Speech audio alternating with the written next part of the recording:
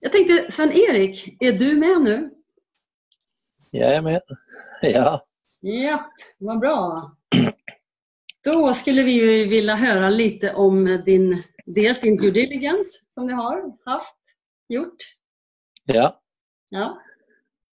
uh, ja, jeg heter jo Svein Erik Nilsen. Er siviløkonom. og vært med i CashFX siden november 2019.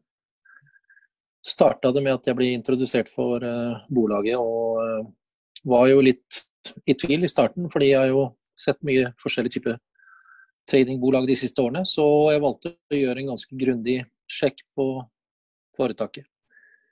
Så jeg fikk bl.a. en samtale med en, en i Irland som hadde vært på åpningen av CFX i Panama. Han var jo også veldig kritisk og var, ville være sikker før han begynte å rekommendere bolaget. Så han valgte da å ta med seg to, profesjonelle tradere til Panama. Betalte deres flygereise, eh, hoteller. Og de var der og gikk gjennom hele bolagets tradingplattform. Kolla det med ledelsen, traderne. Og eh, resultatet var jo så bra at han ene, da, som egentlig var multimillionær fra trading, pensjonert, han var så imponert at han valgte å gå inn med 100 000 dollar selv. Eh, og etter det så var jo han i, fra Irland ganske klar på at han ville da starte å presentere og promotere bolaget. I tillegg til dette så hadde vi brukt en del tid på søk via internett.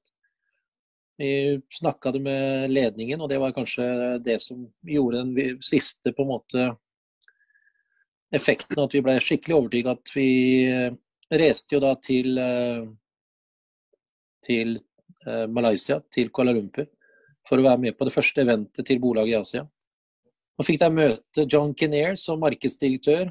Fikk møte Justin Halliday og Luigi, som har, vært, som har vært med å bygge bolaget siden starten. Og fikk da bruke litt tid sammen med dem etter eventet der. eh, Ble kjent med dem, fikk stille masse spørsmål, frågor. Og fikk høre hvordan de hadde gjort sin due diligence. Og en av de tingene som bl.a. var sagt, var jo at John hadde jo da hatt ganske mange møter for å gå igjennom. fordi han var jo opprinnelig en markedsfører for bolaget og ble også spurt om å bli markedsdirektør for bolaget.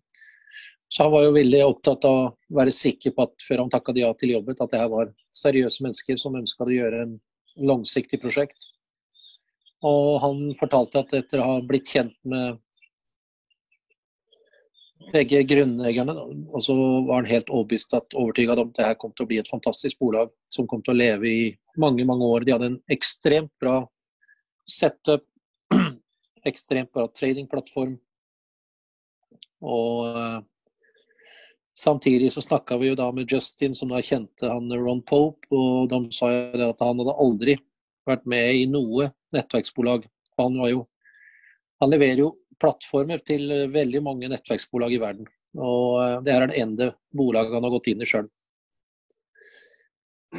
Samtidig så hadde jo Tor, min partner, hadde jo eh, brukte 100 000 kroner på kolla med advokater, bankkontakter, Interpol, for å sjekke om det var noe som helst negativitet, om det fantes noe som helst som kunne bli dratt fram. Fant ingenting. Så etter det så begynte vi å bestemme oss at nå skal vi kjøre på. Vi skjønte at kompensasjonsplanen var fantastisk bra. Tradingresultatet fantastisk bra. Altså at man kan doble, kanskje i Sverige kan man sikkert tredoble sin pensjon med å gå faktisk inn og spare 5 eller 10 000 kroner én gang. Så har man etter fem år, fire år, sikkert tredobla sin pensjon i Sverige. Kanskje firedobla på mange. Ved at man sitter igjen med 70 000 kroner per måned efter alt. Efter å ha satt av penger til å kjøpe ny kontrakt.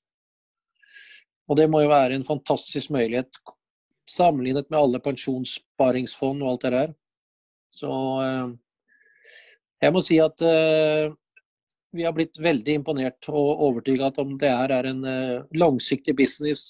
Et bolag som blir et legacy-bolag, og som kommer til å være i markedene i mange, mange år. Og Det er viktig å være med nå fra starten, fordi vi vet jo aldri hvor eh, Bolaget har jo også sagt at når man blir for mange medlemmer, så setter man en en sperre, så da stopper man å ta inn nye, nye medlemmer. Fordi man ønsker å gjøre bolaget stort, men samtidig ikke så stort at ikke man kan tjene bra med penger på trading. Så eh, alle, alle, skjønner jo det at hvis man skal trade på kanskje 100 milliarder dollar, så blir det mye mer komplisert å kunne levere en avkastning på 30% per måned når man trader på 1 milliard dollar. Så eh, det er viktig å benytte muligheten nå. Være med, ta sin posisjon og tjene penger på trading. Og samtidig, hvis man vil gjøre en, eh, en ekstra karriere, så har man enormt bra muligheter med å tjene penger på å rekommendere for andre personer også. Mm. Yes. Superbra. Er det noen som vil fråga Sven-Erik något kanskje?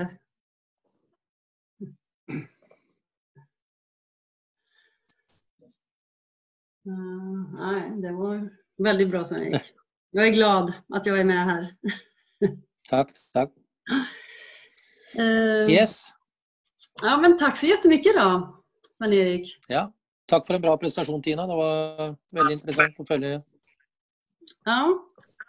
Jag kan berätta då att både Sven-Erik och sen eh, har vi ju Richard i England.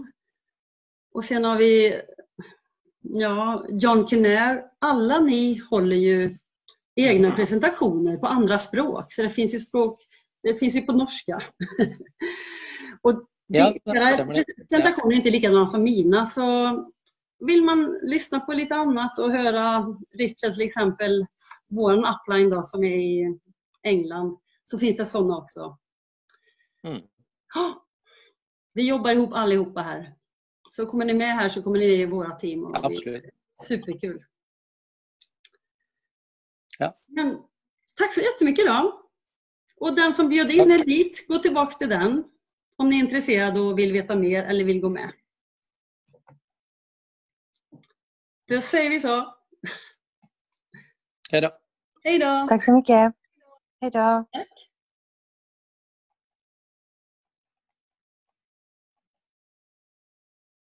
Hej då.